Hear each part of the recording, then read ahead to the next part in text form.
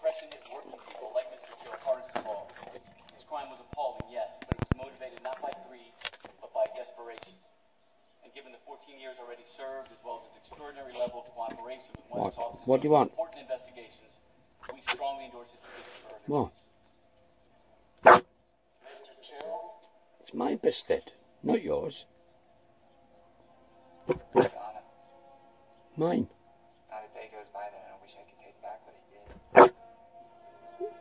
What do you want? You're not having any.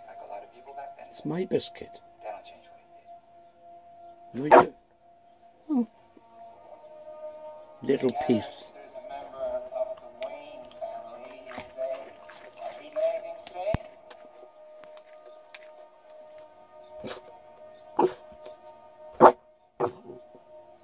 No, it's member